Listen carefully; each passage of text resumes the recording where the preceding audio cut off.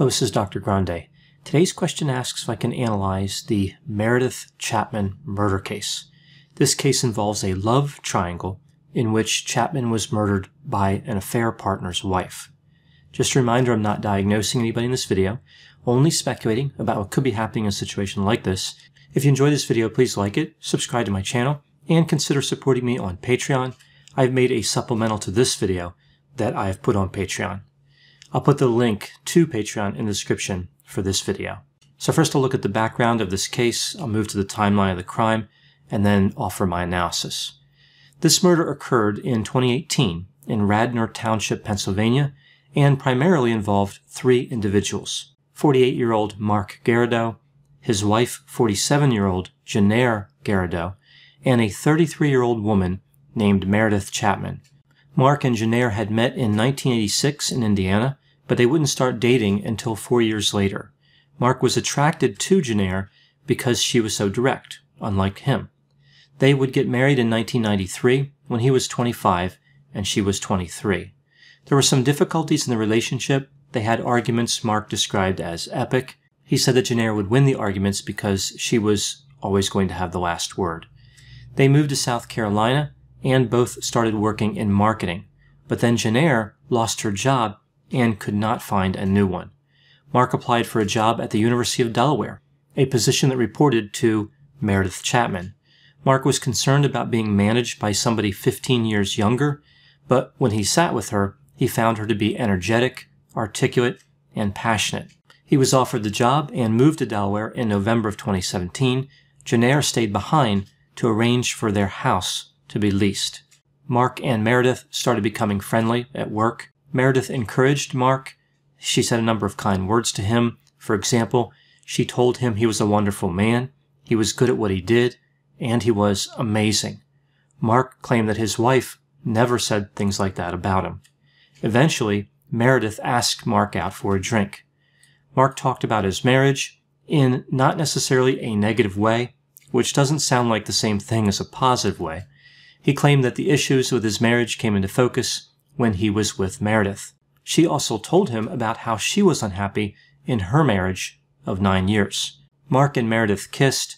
Mark immediately felt awful. He resisted the pull of romance, but then he realized he just couldn't give up the feelings he was having for Meredith.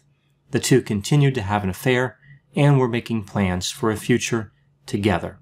In December of 2017, Jennair moved to be with Mark in Delaware. Immediately she could tell that something was off. Mark was distant. She confronted him. She had a suspicion about Meredith because Mark talked about her. Mark denied having an affair, but admitted it on February 14, 2018, Valentine's Day, putting a new twist on the idea of a hopeless romantic. After this, Jennair engaged a number of activities. She posted messages on the website Nextdoor saying, I was just transferred from Delaware for my husband's new job and he's telling me he wants a divorce.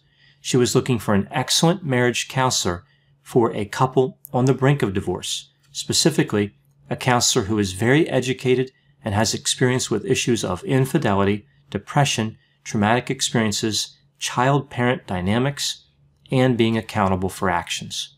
Jennair planted listening devices in Mark's jackets. She actually had to sew them into the fabric she had software that allowed her to gain access to Mark's phone. She planted GPS tracking devices on the vehicles of both Meredith and Mark. She bought a lock picking kit, software to hack computers, and a DNA testing kit. She also purchased a Taurus Tracker 357 Magnum revolver. This particular revolver holds seven rounds. She told a divorce coach that she was furious that Mark was leaving her for a younger woman she felt as though she was being tossed away or traded in. She spied on Meredith using a pair of binoculars. While all this was going on, Mark agreed to go to marriage counseling, but on the day of their second session, he found one of those listening devices in his jacket. Jennair said that she wanted to know what Mark and Meredith were planning. Mark said that he was planning on filing for divorce in May. Meredith took a job at Villanova University and was planning to leave her husband. On April 23, 2018, Jennair made her way from her home in Delaware to Radnor, Pennsylvania, to the home of Meredith Chapman. She was wearing a wig and carrying her revolver. She was supposed to be meeting Mark that evening. He was at the restaurant waiting for her. First, she said she was running late. Then she told him to go home.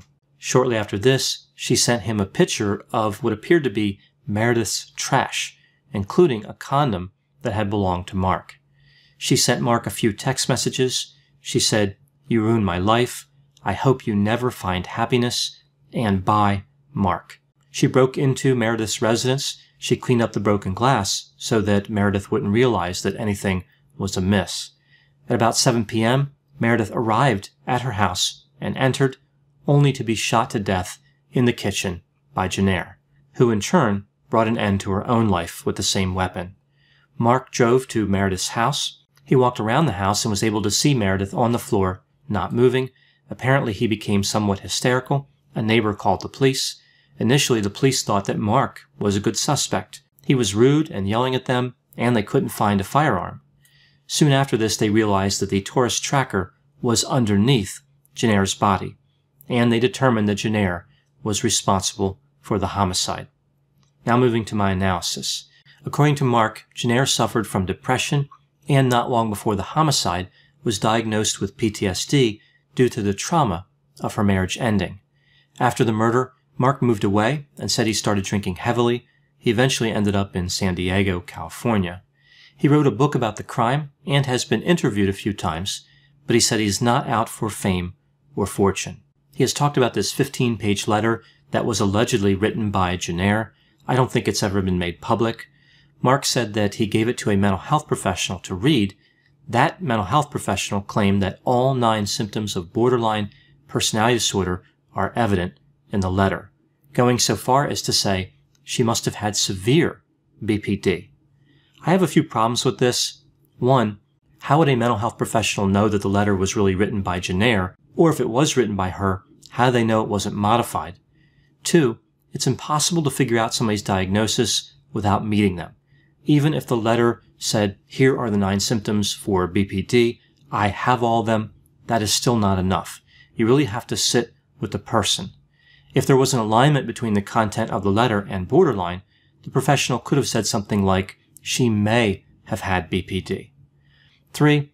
BPD is a pervasive pattern that usually starts in one's adolescence. Was there a history going back that early? So we're supposed to believe this letter was like her whole life story. What about the stress that Jennair was under at that time? The stress of having her life shattered could cause symptoms that look like BPD. It seems like a lot of the information we have about Jennair actually comes from Mark, so understandably, it should be interpreted with a degree of skepticism. I think it's reasonable to believe that Jennair had some mental health symptoms. Even under the stress of an affair, most people would not become homicidal. The stalking behavior is not unusual under the circumstances, but the degree to which she engaged in that activity was. Like the electronic surveillance and all that, it's a little over the top. It was like she turned into James Bond. She really went all out to find out every detail.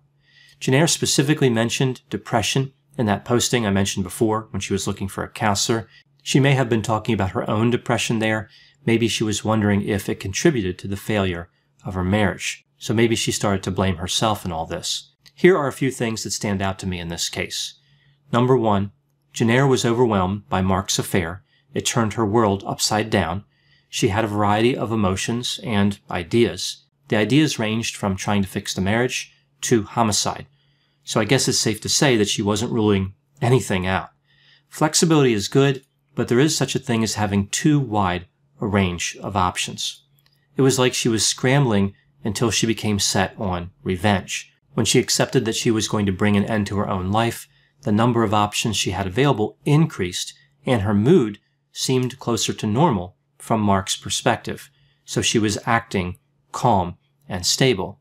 This acceptance about her death was the gateway to homicide. There was nothing to lose. Number two, Mark reportedly had a different goal for therapy than Jennair had. I don't know what the goal was, but it would be reasonable to believe that he was looking to build a relationship with Meredith and Jennair was looking to fix the marriage. I've seen this many times. The course of infidelity is so predictable and obvious, except to those involved in it. Everybody in this situation was trapped in a fantasy. Jennair believed that her marriage could be saved, at least initially. Mark believed that he would be able to simply replace Jennair and he would be happy. Meredith essentially believed the same thing as Mark. Number three, this story connects with a familiar scenario. A husband and wife are between 45 and 65. The husband believes the wife is not as attractive as she used to be. The relationship is stale, not exciting. He finds a younger woman who's more attractive and who pays him compliments. He can't resist this newfound magical love that will transform his life into what he always imagined it could be. The younger woman is amazed at how sensitive and caring the older man is. She wants maturity, and she believes he has it, even though his involvement with her indicates that maturity may not be his strong suit. The wife is left out of the picture. She is taken by surprise. All this happens and she's left to pick up the pieces. She's the only one left without a plan, the only one who is alone, even though the plan that the other two have built will almost certainly end in disaster. In reality, the life feeling left out is like somebody regretting that they couldn't get into the 1966 Thunderbird convertible with Thelma and Louise as they drove toward the Grand Canyon. Sometimes it's better to be left out of a plan. Although, of course, that's not how it seems in a situation like this. There is a real sense that being alone is bad. Number four, Mark mentioned that there was a plan B in that mysterious 15 page letter, which was that Jennair was going to kill him if he entered the house first. She may have written that, but Mark's suffering was her plan. That was the only way she could truly get revenge. Killing him would not be satisfactory from her point of view.